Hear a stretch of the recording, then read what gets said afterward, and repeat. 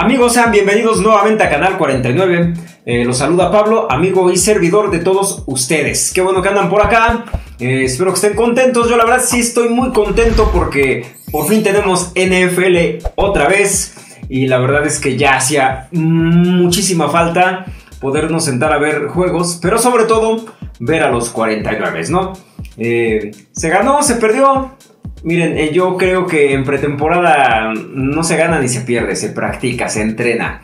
Para eso son los, los juegos, y ya se los había comentado yo el, el, programa eh, anterior, el podcast anterior.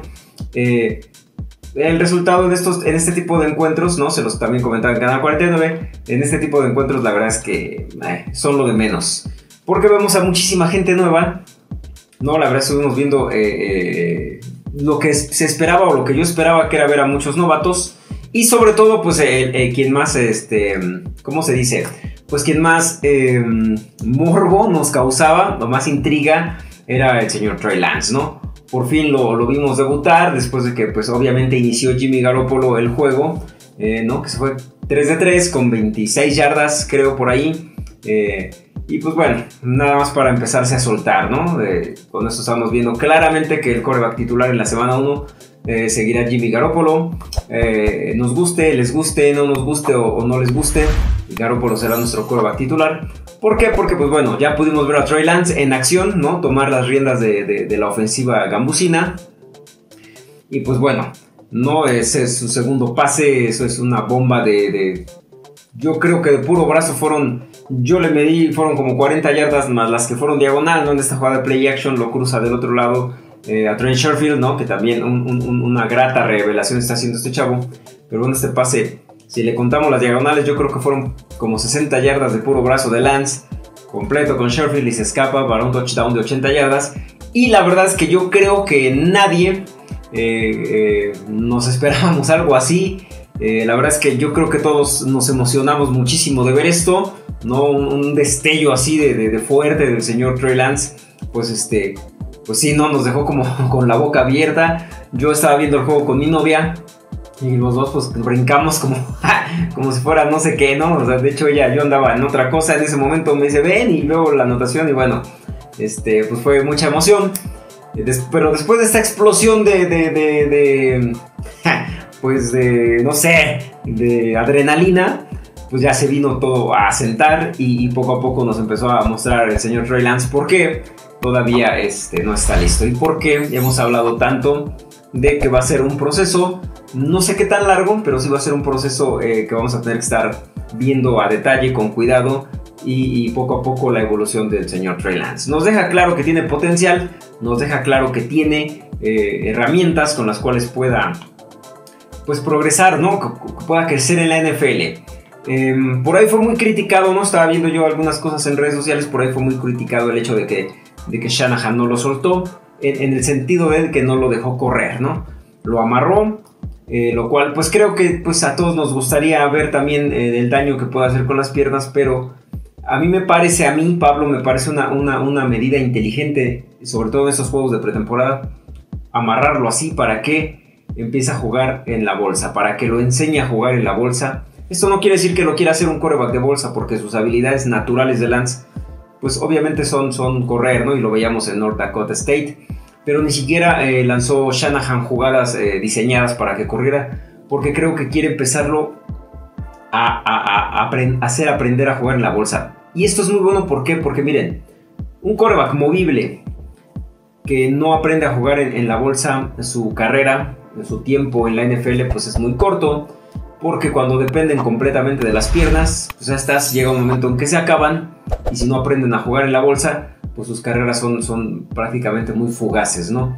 Entonces creo que el, ejemplo más claro que tengo, y no es porque me gusta estar hablando de los Seahawks, ¿no? La verdad es que, sabemos que, que no son muy de nuestro agrado, pero Russell Wilson es un coreback que ha aprendido a jugar en la bolsa y que usa las piernas como un recurso de todos estos morenazos, ¿no? Que ha habido y que hay en la NFL eh, Wilson sí ha sabido y ha aprendido a jugar la bolsa y eso le ha hecho una carrera más longeva que el promedio de corebacks eh, movibles que ha habido en la NFL, ¿no? Salvo Steve Young también, ¿no? Que obviamente no era, no era de color, pero es la tendencia, ¿no? Jugadores de color, jugadores que corren mucho. me parece bien, a mí me pareció bien que hiciera esto, esto Shanahan para también que Lance se dé cuenta de hasta dónde está su techo ahorita jugando en la bolsa. A su favor de Lance diré que, bueno, jugar con una línea ofensiva sin ningún dinero titular más que McClinchy, este, pues tampoco era y Bronskill, ¿no? Que bueno, supongo yo que Bronskill va a ser, ya bueno, ya está más que claro que Bronskill va a ser el, titular, y ahorita hablamos de eso. Pero jugar con una línea de segundo equipo tan, tan, tan eh, mediocre como se dio la de los 42, pues tampoco eh, auguraba mucho, ¿no? Esa línea permitió 5 capturas, 4 a Lance, ¿no? 4 eh, Lance conmigo 4 capturas, pero pues no había mucho que hacer y me parece inteligente que aprenda a comerse el balón antes de cometer errores y antes de cometer pifias.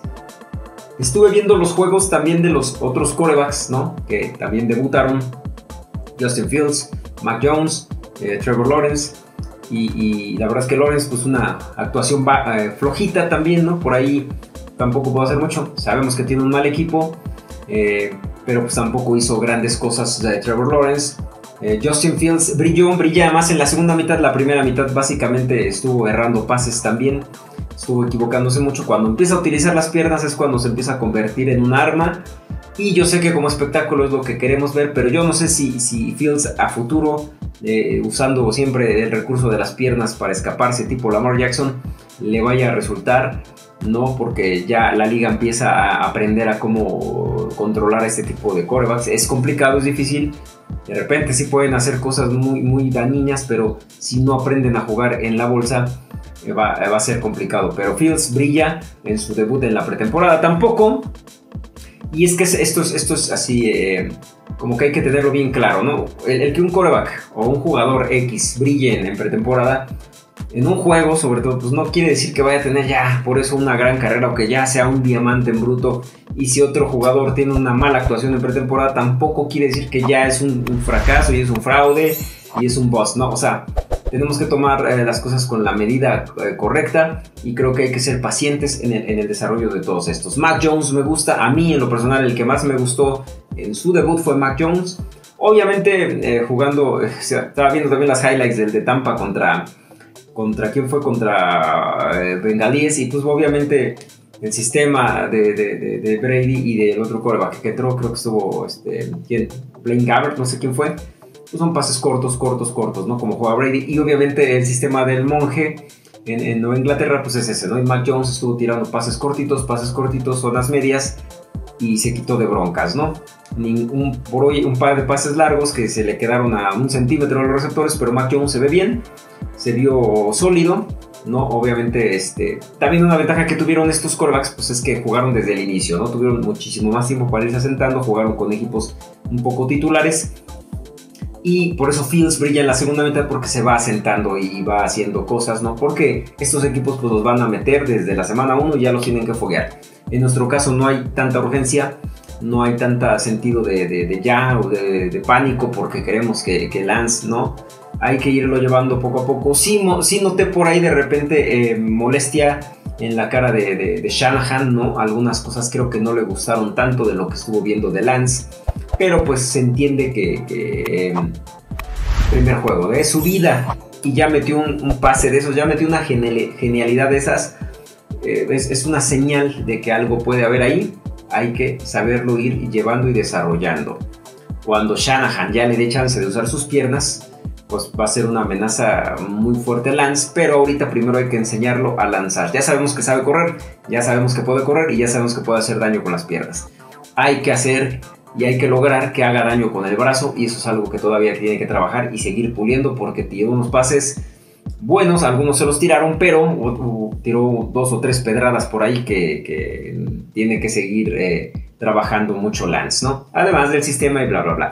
Pero en términos generales me parece que la actuación de Lance es para hacer pretemporada y ser su debut, mm, tal vez no buena, pero aceptable, no, no comete errores, eh, tira un pase de anotación, ya algunos se los tiran, tiene errores lógicos, no corre y eso me gustó. A mí, no, a mí me gustó que no tuviera que, que no recurriera a la, a la, como dicen, como dice, a la vieja confiable, ¿no? No hay nada, pues me echo a correr y entonces ya todos me aplauden. Me parece que Lance obedece a Shanahan, le hace caso a Shanahan en pro de su desarrollo.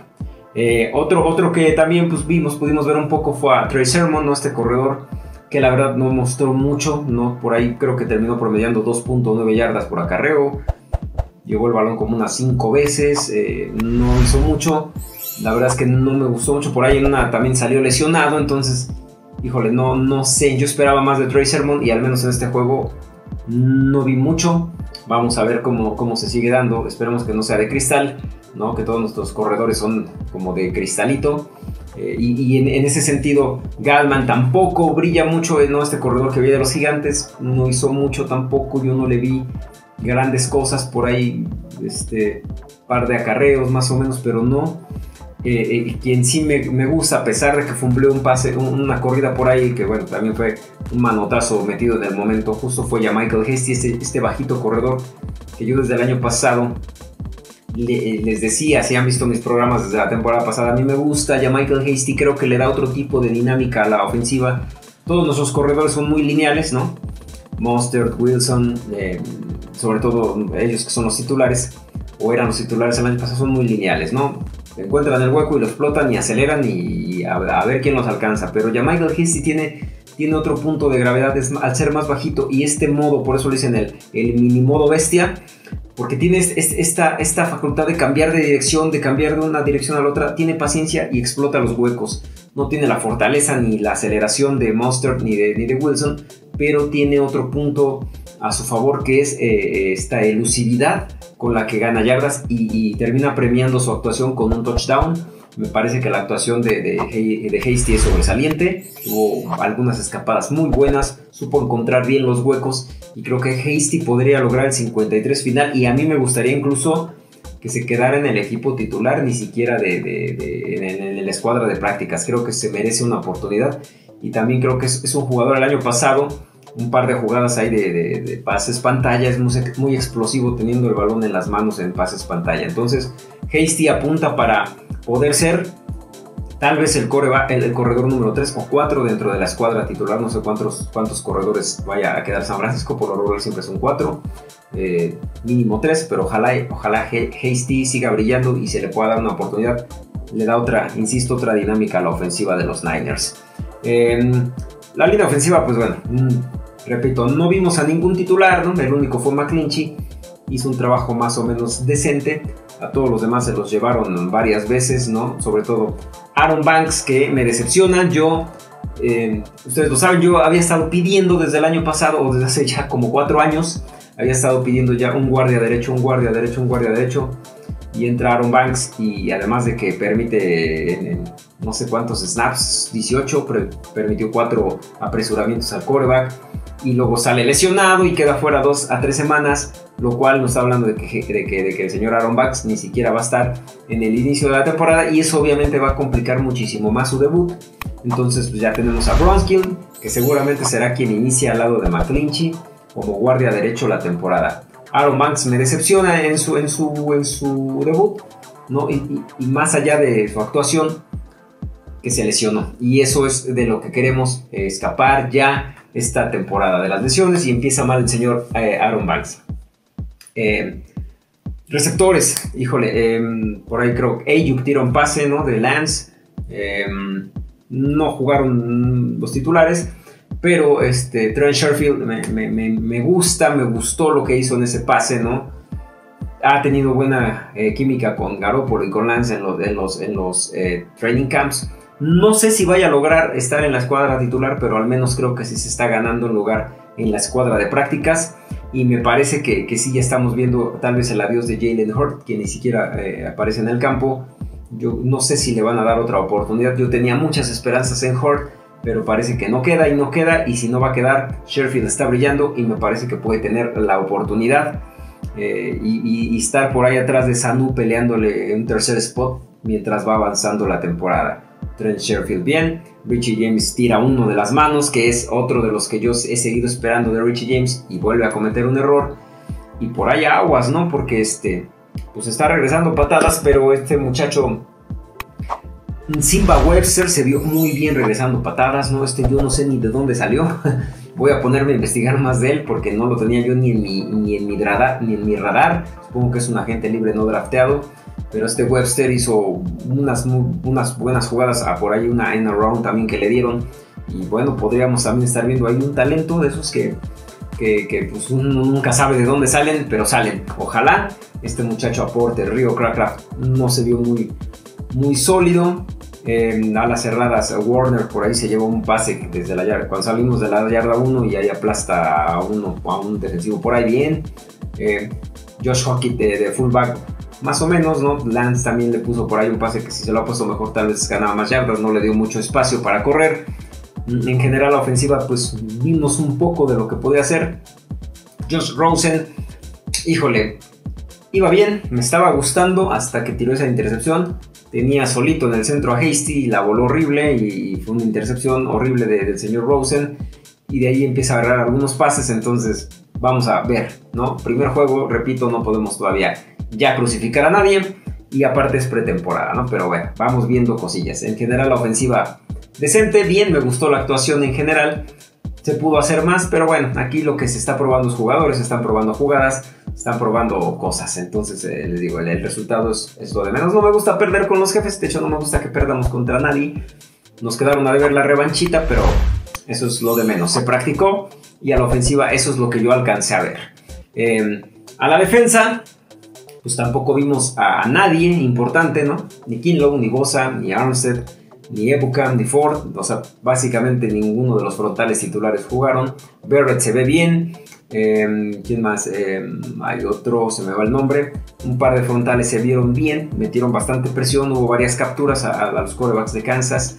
¿no? Este, eh, en el perímetro me gustó de Modre Lenoir, independientemente de la intercepción, que pues bueno, es, una, es un de rebote, le cae en las manos, pero al menos ya intercepta, eso le va dando seguridad y le suma bonos para el roster pero constantemente estuvo haciendo buenas, buenas coberturas de Mudry Lenoir y creo que podría, podríamos ante la necesidad de perímetro estar viendo un, esquinero que podría seguirnos mostrando cosas en lo que resta de la pretemporada. ¿no? Sabemos que no van a ser titular ninguno de estos, todavía tenemos a Mosley y a Berrett, pero podrían estar empujando porque el próximo año vamos a tener ahí eh, un, tema con el perímetro, ¿no? que ya hemos hablado de eso, pero Lenoir ve bien y quien, el que más me gusta de todo el juego y quien se llevó todo mi, toda mi atención, porque además yo ya lo estaba esperando y yo, yo ya le había visto, creo que varios ya le habíamos visto todo el potencial que tiene, Talano Fanga, que se vio todo un todo terreno, ¿no? Apareciendo en todos lados, descifrando las, las jugadas con una velocidad y un instinto que difícilmente se ve. No, obviamente Digo, se compara con, con Troy Polamalu por el estilo de juego y porque es su mentor. Está años luz todavía de Polamalu, pero me parece que va en esa dirección y lo que empecé a ver yo de, de Ufanga este, este sábado fue algo que me emocionó mucho porque estar, podríamos estar hablando del sustituto de... Podríamos estar ya no preocupándonos tanto por la ausencia de, de Tart, eh, eh, a pesar de que trajeron a Jaja Clinton Dix, que tampoco jugó, ¿no? Entonces Ufanga podría ser la respuesta junto con Jimmy Ward en la zona profunda. Vamos a ver, o más adelante, en cuestión económica, si se libera Jimmy Ward, se ahorra mucho dinero San Francisco y si Ufanga se queda ahí nos va a salir barato dos o tres añitos más. Entonces, eh, excelentes noticias con lo de Ufanga, que para mí fue el jugador, para mí el jugador del partido de los Niners. Me gustó mucho lo que vi de Ufanga. Este, pero bueno, los linebackers tampoco jugaron los titulares, por ahí estuvo Griffith, eh, se vio bien. Hillard también creo que tuvo unos snaps, también se vio bien. Pero bueno, sabemos que ahí son inamovibles, ¿no? Warner y, Greenlow. Y, ahorita firmó San Francisco a Michael Hendricks, ¿no? Que estuvo en Seattle. Vamos a ver, dicen que es muy versátil. Yo la verdad no, no, no. Les mentiría si les digo que sí sé cómo juega, lo he visto muy poco. Pero vamos a ver si, si, si ayuda a la versatilidad del cuerpo de linebackers. Este, ¿qué más? Em, mm, mm, mm. Austin Watkins, un novato.